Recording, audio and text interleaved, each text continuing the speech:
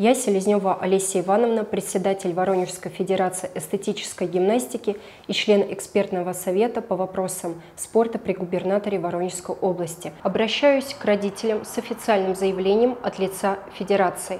Уважаемые родители, чьи воспитанники занимаются в спортивном клубе «Прима» и «Авангард», я выступаю с обнародованием результатов проверки Государственной инспекции труда Воронежской области на основании документов, поданных данными руководителями о своей деятельности.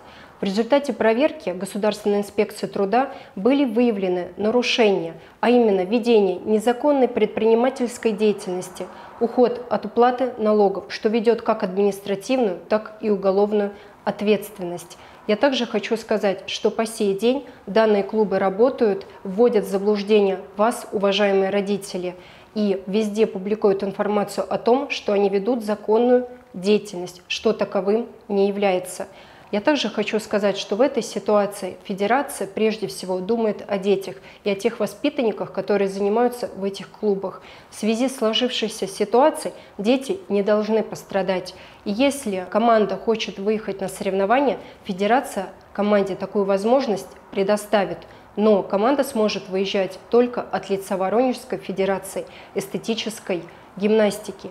И я хочу сказать важную вещь. Уважаемые родители, если вы хотите заниматься в нелегальных клубах, это ваше право.